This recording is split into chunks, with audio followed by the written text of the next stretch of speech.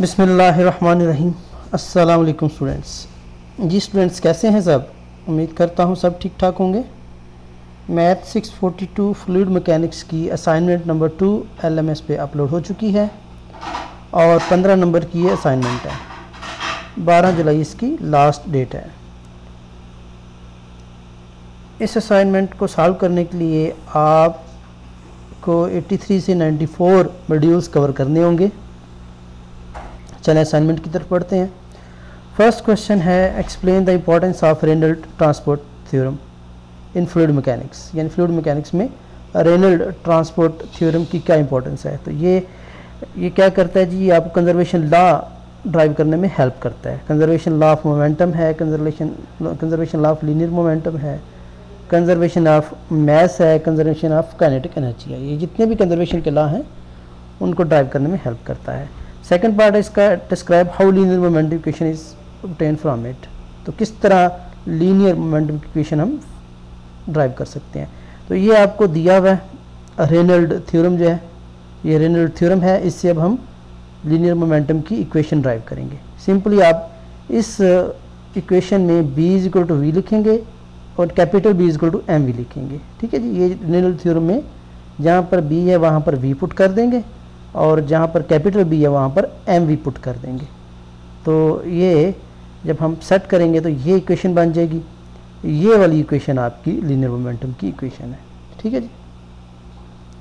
Second part है write the momentum equation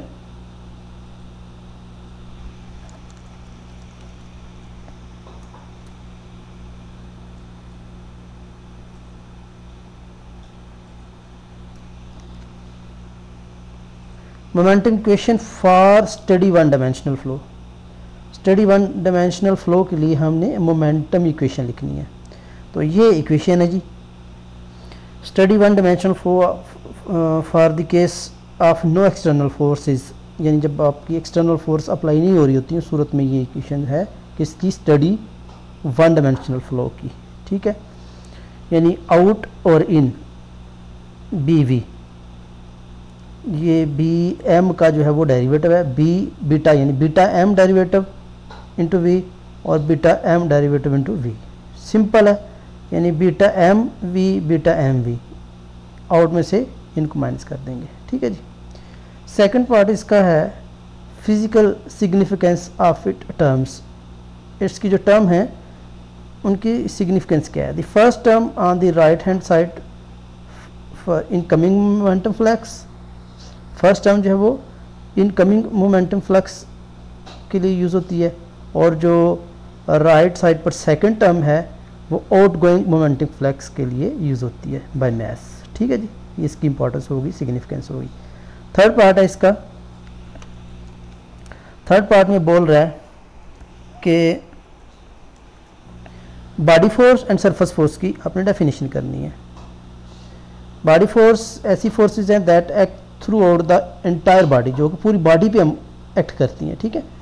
such as gravity है, यानी ग्रेविटी जो है वो पूरी बॉडी पे एक्ट करती है, ना कि सिर्फ़ सम पार्ट पे करती है, ठीक है? एंड मैग्नेटिक फोर्सेज ये सारी की सारी क्या हैं आपकी? बॉडी फोर्सेज हैं। एंड सरफेस फोर्सेज क्या हैं? That act on the control surface control surface पे वो एक्ट करती हैं। जैसे प्रेशर है प्रेशर जो है वो कंट्रोल सरफेस पे ही एक्ट करता है विस्कस फोर्सेज है and reaction forces at point of contact तो ये आपकी सरफेस फोर्सेस हैं। Okay is fluid weight of body force क्या कह रहा है fluid weight of body force है? Fluid weight is a body force yes it is body force or surface force तो ये बॉडी फोर्स है, ठीक है? हाउ अबाउट प्रेशर प्रेशर के बारे में क्या ख्याल आपका? प्रेशर जो है वो सरफेस फोर्स है। क्लियर हो गया जी? पार्ट फोर है। पार्ट फोर में बोल रहा है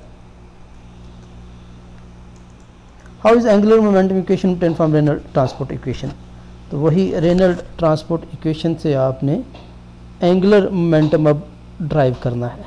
ठीक है जी?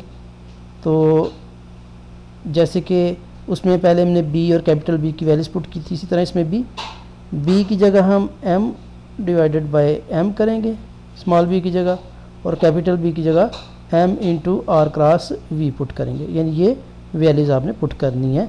इन ट्रांसपोर्ट थ्योरम में। तो जब ये वैल्यूज़ पुट करेंगे आप वैल्यू पुट करने के बाद इनको सिंप्लीफाई करेंगे तो फाइनल आपका ये आंसर आ जाएगा। ठीक है? तो इक्वेशन विल बिकम तो ये आपकी एंगुलर मोमेंटम की इक्वेशन बन जाएगी रेनल्ड ट्रांसपोर्ट थ्योरम में। क्लियर हो गया जी? होपफुली आपको समझ आई होगी। अगर किसी चीज़ में डाउट है तो आप कमेंट में पूछ सकते हैं। और जाने से पहले प्लीज़ चैनल को भी सब्सक्राइब कर दीजिएगा। अल्लाह हाफिज़।